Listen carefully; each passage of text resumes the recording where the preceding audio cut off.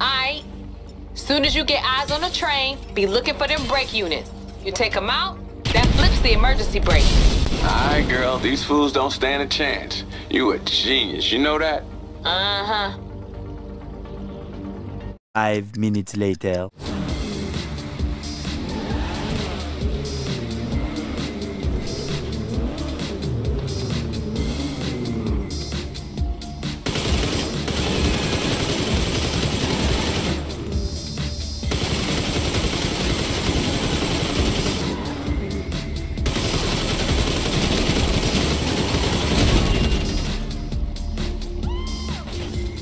What up, Doe?